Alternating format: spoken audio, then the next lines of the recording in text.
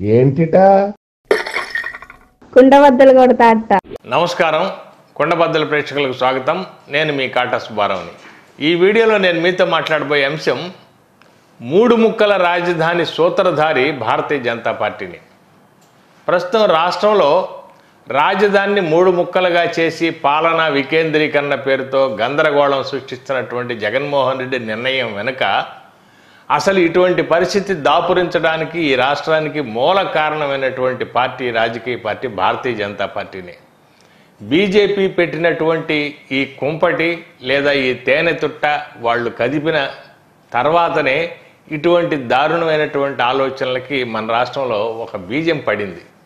ముఖ్యంగా భారతీయ జనతా పార్టీ మరి చంద్రబాబుతో కలిసి ఉన్నప్పుడు నాలుగున్నర సంవత్సరాలు మరి రాజధాని విషయమై చంద్రబాబుకు అన్ని విధాలా సహకరించడమే కాకుండా అమరావతికి పదిహేను వందల కోట్ల రూపాయలు ఇవ్వడం ప్రధానమంత్రి వచ్చి శంకుస్థాపన చేయడం దానికి సంబంధించినటువంటి కార్యక్రమాలన్నిటికీ కూడా వాళ్ళు మద్దతు ఇవ్వటం చంద్రబాబు ప్రభుత్వంలో భాగస్వామిగా ఉండటం కూడా అయిపోయిన తర్వాత వాళ్ళు ఎప్పుడైతే చంద్రబాబుతో విడాకులు తీసుకుని జగన్మోహన్ రెడ్డితో లోపాయకారిగా వ్యవహారం నడుపుతూ ఉన్న సందర్భంలో ఎప్పుడైతే ఇక్కడ రాష్ట్రంలో ఒక రాజకీయంగా వాళ్ళు కొంచెం బలీయమైన శక్తిగా ఎదగాలనుకున్నప్పుడల్లా మన రాష్ట్రంలో వాళ్ళు ఎప్పుడు కూడా దీన్ని ఒక ప్రయోగశాలగా మార్చి రాజకీయ ప్రయోగాలు చేయటం అనేది వాళ్ళు గతం నుంచి కూడా చేశారు. గతంలో కూడా కాకినాడ తీర్మానం అంటూ ఒక ఓటు రెండు రాష్ట్రాలు అంటూ చిట్ట చివరకు రాష్ట్రాన్ని మొక్కలవటానికి బీజం నాటింది భారతీయ జనతా పార్టీయే.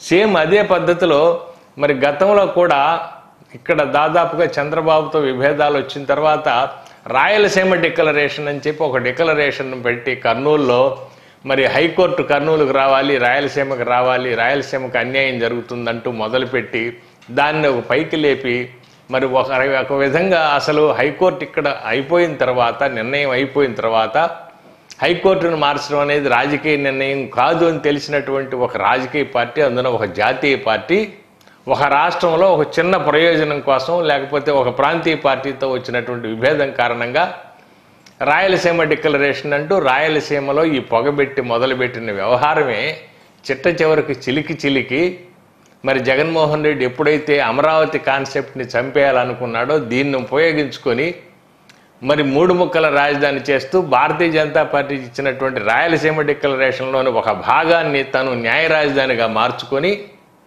ఈ రోజున మూడు ముక్కల రాజధాని చేసి చివరాఖరికి చంద్రబాబుని లేకపోతే తెలుగుదేశం పార్టీని మరి డీఫేమ్ చేయాలో లేకపోతే బదనాం చేయాలి రాజకీయంగా చంపేయాలన్నటువంటి ఒక ఆలోచన జగన్మోహన్ రెడ్డి చేస్తున్నాడు అంటే దానికి మద్దతు కానీ లేకపోతే పరోక్షంగా సహకారం కానీ భారతీయ జనతా పార్టీ ఇస్తూనే అసలు ఇటువంటి ఒక దారుణమైనటువంటి ఆలోచనకి మూలం ఒక విత్తనం నాటింది భారతీయ జనతా పార్టీ అనేది మనం ఖచ్చితంగా చెప్పొచ్చు.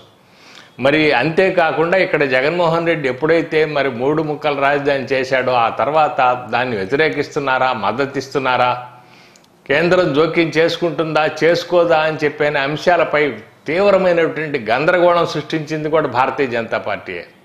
క్లిస్టర్ క్లియర్గా తెలుసు మన దేశంలో కేంద్రం పరిధిలో కొన్ని అంశాలు ఉన్నాయి రాష్ట్రాల పరిధిలో కొన్ని అంశాలు ఉన్నాయి ఉమ్మడిగా కొన్ని అంశాలు ఉన్నాయి ఎందులోనూ ఏ లిస్టులోనూ చేరని అంశాలు అన్నిటిపైన తిరిగి మళ్ళీ కేంద్రానికే అదుపు ఉంటుంది అనేది మనం రాజ్యాంగంలో పెట్టుకున్నాం.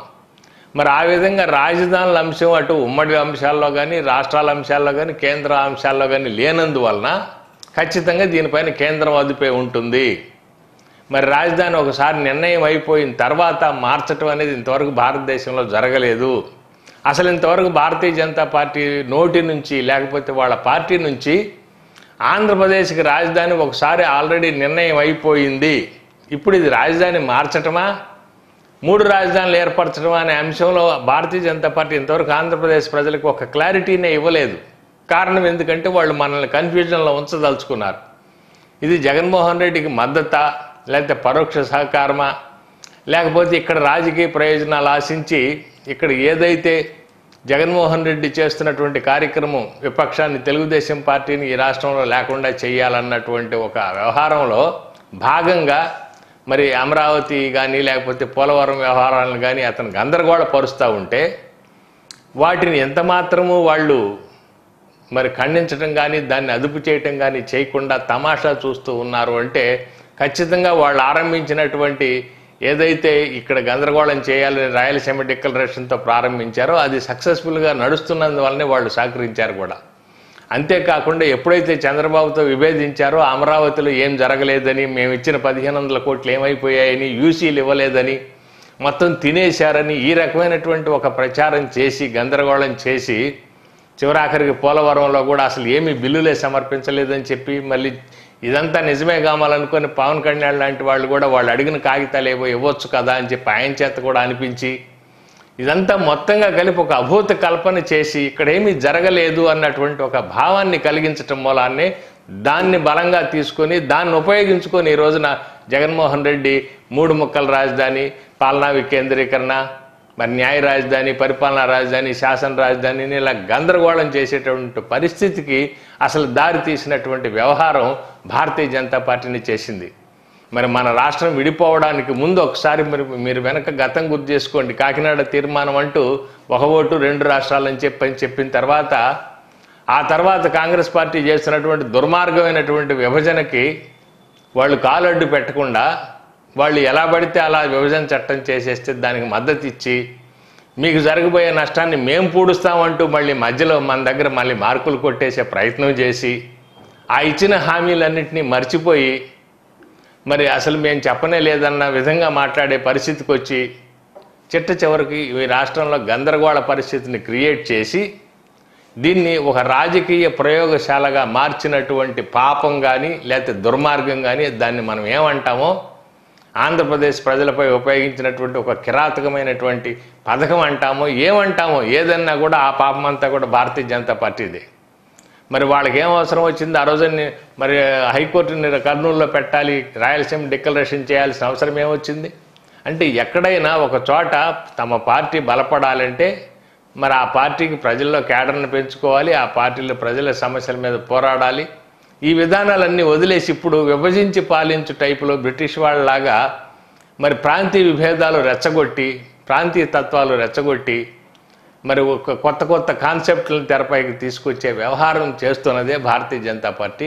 దాన్ని జగన్మోహన్ రెడ్డి చాలా తెలివిగా ఈరోజు ఉపయోగించుకున్నాడు. ఈ రోజు నిజానికి జగన్మోహన్ రెడ్డి ఈ రోజున ఈ మూడు ముక్కల రాజధాని అనే ఒక విపరీతమైనటువంటి ఒక దారుణమైనటువంటి ప్రమాదకరమైనటువంటి ప్రయోగం చేయడానికి కారణం ఈ రోజున గతం నుంచి దాదాపు రెండు వేల పద్నాలుగు తర్వాత అనేక సందర్భాల్లో భారతీయ జనతా పార్టీ వ్యవహరించిన తీరు ప్రవర్తించిన విధానం వాళ్ళు చేసినటువంటి ప్రతిపాదనలు రాజకీయంగా చంద్రబాబుపై దాడి చేయటం కోసం వాళ్ళు రాష్ట్రంపై రుద్దిన అబద్ధాలు ఈ రకంగా రాష్ట్రంలో జరిగిన అభివృద్ధిని జరగలేదన్నట్టు చూపించటం ఈ రోజున ఈ రకంగా రాష్ట్రం వెనకబడిపోవడానికి ఈ రోజున రాష్ట్రం గందరగోళ స్థితిలో పడిపోవడానికి ఈ రోజున ఐదు కోట్ల మంది ఆంధ్రులు కన్ఫ్యూజన్లో ఉండిపోయి మనకు అసలు రాజధాని ఉందా?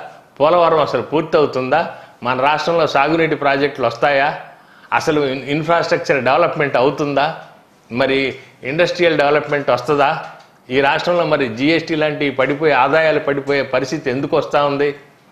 మరి ల్యాండ్ ఆర్డర్ ఉందా ఇక్కడ? ఇన్ని సందర్భాల్లో ఇన్ని రకాలైనటువంటి గందరగోళంలో ఐదు కోట్ల మంది ఆందోళన పడిపోవడానికి కారణం జగన్మోహన్ రెడ్డి అని మనందరం జగన్మోహన్ రెడ్డిని నిత్యం నిందిస్తూ ఉంటాం కానీ దీని వెనక ఈ మొత్తానికి కలిపి ఒక బలమైన పునాది వేసిందే భారతీయ జనతా పార్టీ.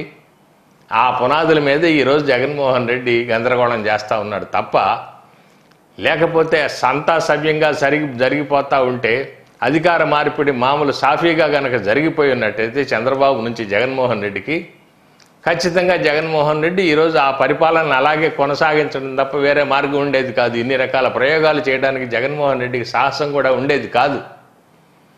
మరి జగన్మోహన్ రెడ్డి ఇన్ని రకాల సాహసాలు చేసి మరి ఏటికి ఎదురీదే పరిస్థితి? రాజ్యాంగానికి ఎదురీదే పరిస్థితి? ఈ రకంగా గందరగోళం సృష్టించే పరిస్థితి మొత్తానికి కూడా పునాది వేసింది ఈ మొత్తానికి బీజాలు నాటింది భారతీయ జనతా పార్టీ. ఈ రోజున అది భారతీయ జనతా పార్టీ మెడకే చుట్టుకోబోతా ఉంది.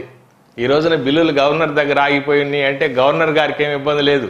కేంద్రం పెట్టమంటే పెడతాడు సంతకం వద్దంటే మానేస్తాడు.